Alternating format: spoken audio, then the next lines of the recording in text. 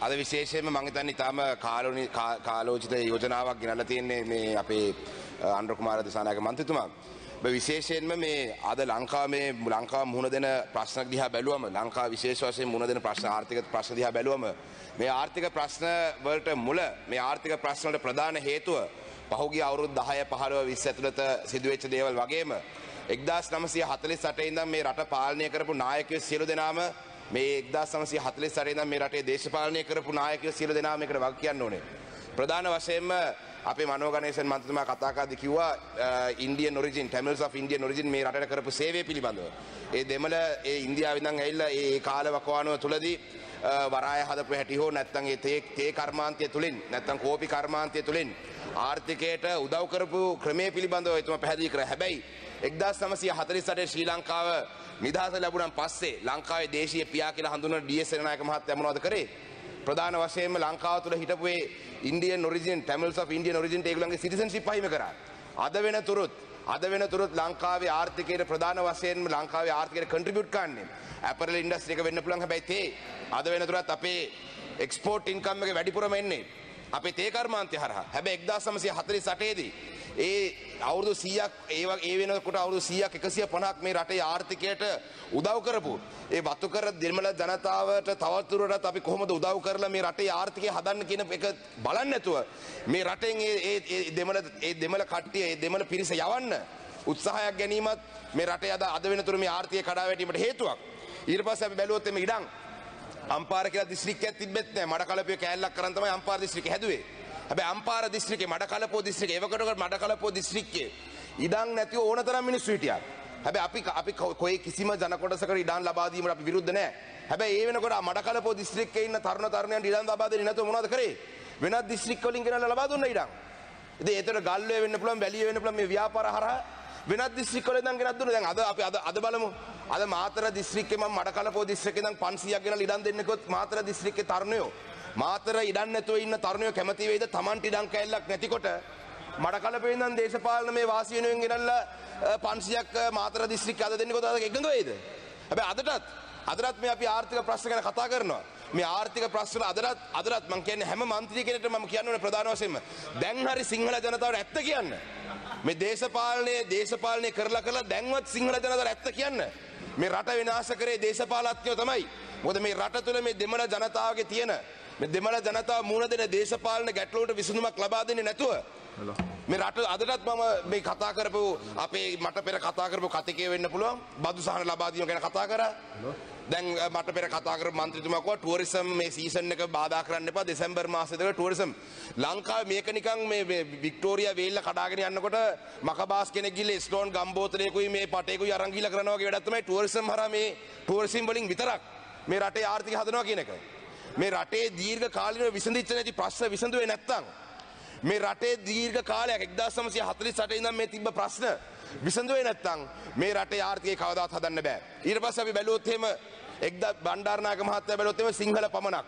ඒ වෙනකොට 1956 වෙනකොට යුරෝපියන්ස්ලා පෝර්චුගීස් වෙන්න පුළුවන් ඩච් වෙන්න පුළුවන් බ්‍රිටිෂ් වෙන්න පුළුවන් අවුරුදු 300ක් 400ක් 1505 ඉඳන් අවුරුදු 400කට වැඩි කාලයක් මේ රට තුළ ඉඳලා 1956 සිංහල පමණක් කියලා බා- ඒ භාෂා පරි- භාෂා පනත ගෙනාපු ගමන් මේ රටේ හිටපු යුරෝපියන්ස් දාලා ගියා මේ රට.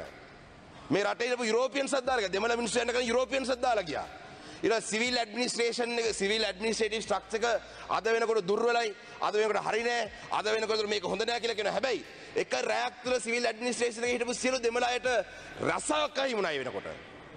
ඊට පස්සේ බැලුවොත් එහෙම ස්ටෑන්ඩඩයිසේෂන් ඇක්ට් යුනිවර්සිටියකට යන්න. අපි කවදාවත් මොන්රාගල දිස්ත්‍රික්කේ ඉන්න දරුවෙක් හෝ එහෙම නැත්නම් මාතර හෝ කෑගල් හෝ වෙන දිස්ත්‍රික්කයක දරුවෙක් යුනිවර්සිටි යන්න හොඳ නැහැ කියලා කියන්නේ හැබැයි යාපනයේ දිස්ත්‍රික් එකම එකම පේපර් එක ලියන්නේ.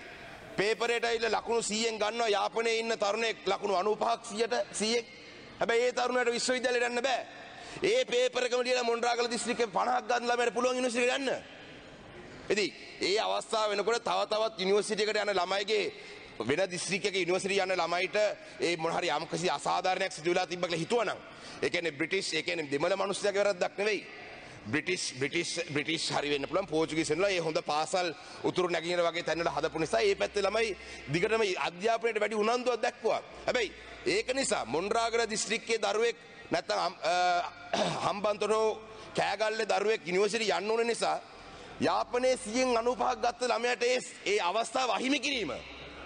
ඒ අවස්ථාව අහිමි කිරීමට මේ වගේ හිස්ටොරිකලි ඉතිහාසයේ මේ වගේ කරපු වැරදි නිසා තමයි එක්දා සමසය හැත්ත ගණන් වලින් පස්සේ මේ ලංකා අවුරුදු 30ක 40ක යුද්ධයකට මුහුණ දෙන්න සිදුුනේ. හැබැයි අදවත් කියන්න සිංහල ජනතාවට ඇත්ත. අද වුණත් මට පෙර කතා කරපු කතිකේ මොනවද කිව්වේ? බදු සහන ලබා දෙන්න ලීසින් කම්පනි වල තියෙන ප්‍රශ්න පෙන්ෂන් ගෙනවන අය තියෙන ලෝ ඇත්ත මම පිළිගන්නවා. හැබැයි මේවා මේ වලට අද විසඳුම් ලබා දෙනවා නම් දීර්ඝ කාලිනව විසඳිලා නැති දින ප්‍රශ්න විසඳුවොත් විතරයි මේ කරන්න පුළුවන්. අද ආණ්ඩු පක්ෂයෝ විපක්ෂිනවට කියන්න හරි ලේසි මේ බදු සහන දෙන්න ඕනේ ඇත්ත.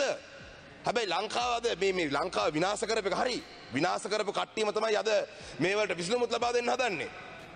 හැබැයි දීර්ඝකාලීනව විසඳිලා නැති තිබ්බ මේ රටේ තියෙන දෙමළ ජනතාවගේ මේ දේශපාලන අයිතිවාසිකම් පිළිබඳව ගැටලුව විසඳුවේ නැත්තම් මේ රටේ ආර්ථිකය කවදාත් හදන්න බෑ. අද වෙනතුරු දෙන්න තියෙන ප්‍රශ්නවලට දෙන්න තියෙන විසඳුම් වලට කවුරු එක්කෙනෙක් අද වෙනකල් කියනවා තියෙනවා දෙමළ දේශපාලන සිරකරු නිදහස් කරන්න කියලා.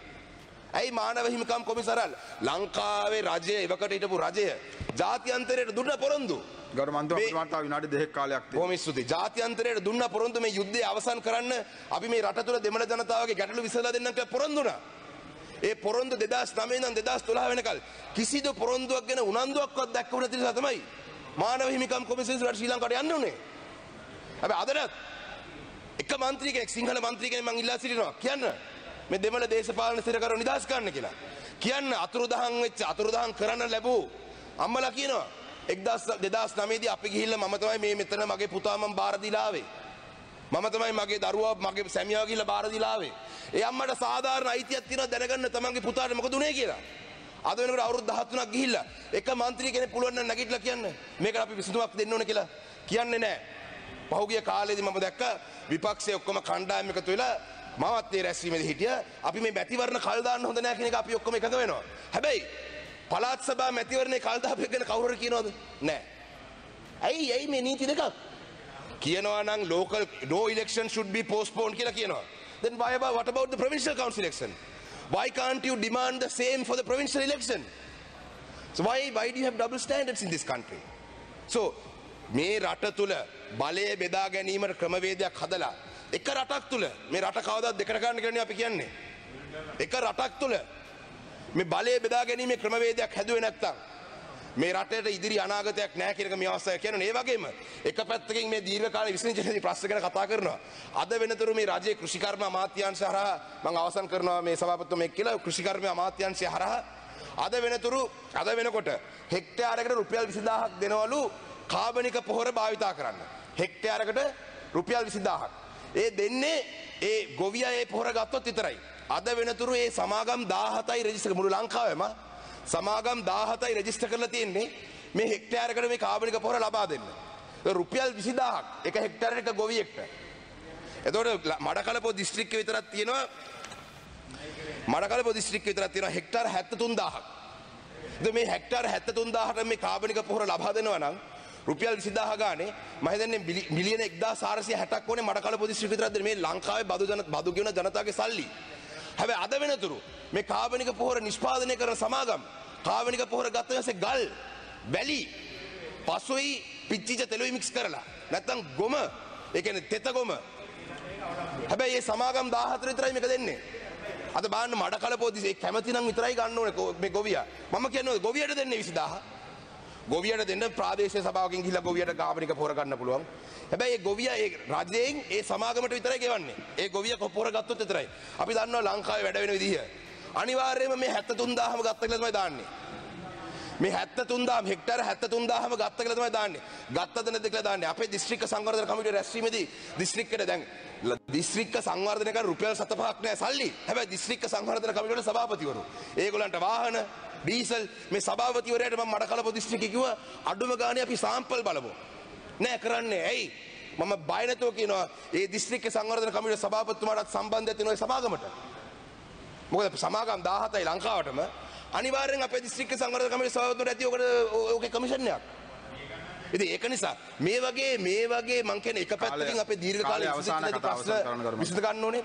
ඒ වගේ දැන් මේක කියලා මං අවසානද QR code එක බලන්න. QR code එක හරහා අද හිතනවාද අපේ ඛනිජ තෙල් පිළිබඳ ඇමතිතුමා හෝ අනිත් ඇමතිවරු හිතනවා නම් මේ QR code එකේ දෙන ලීටර් 20න් තමයි අද හැමෝම ජීවත් වෙන කෙනා නම් මේක විහිළුවක්. තමන්ගේ තමන්ගේ රැකියාව වෙනුවෙන් හැමදාම වාහනයක් භාවිතා කරන්න ඕන මිනිස්සෙට කොහොමද සතියක ලීටර් 20කින් වැඩ ගන්නෙ? මොකක්ද දන්නවද අද වෙන්නේ? මං කියන්න මොකක්ද වෙන්නේ කියලා.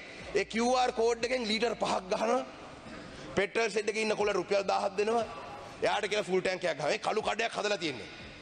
හැබැයි හැම පෙට්‍රල් සෙට් දෙන්නේ මමත් මේ පෙරේ දෙනකම් හෙව්වා. එක මහත්මයෙක් කිව්ව නෑ නෑ කමන්නේ ඔබතුමා ගහගෙන යන්න කියලා. හැබැයි ඒ QR කෝඩ් එක හරහා කියනවනේ හිතනවනම් මේ රටේ එහෙම තමයි මේ තෙල් දීලා තමයි සාමාන්‍ය මිනිස්සු ඔක්කොම අද ජීවත් වෙන්නේ කියලා කවුරු හිතනවනම් කොහොමද අද ලංකාව තුළ සාමාන්‍ය ජනතාව ජීවත් වෙන්නේ? ඒක නිසා මම කිව්වාගේ මේ ටුවරිසම් හදන්න ඕනේ ඔක්කොම හදන්න ඕනේ තමයි. හැබැයි ලංකාව විශාල වශයෙන්ම ලොකු ආයෝජනයක්.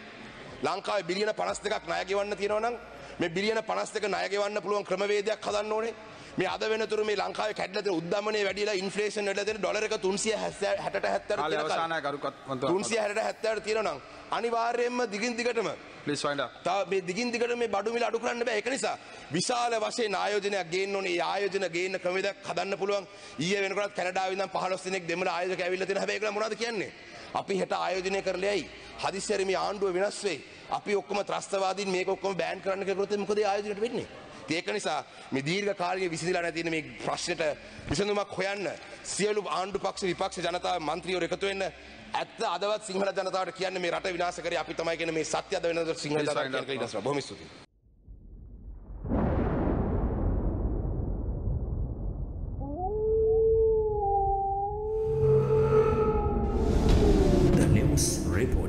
වාරණයෙන් තොර අපක්ෂපාති වාර්තාකරණය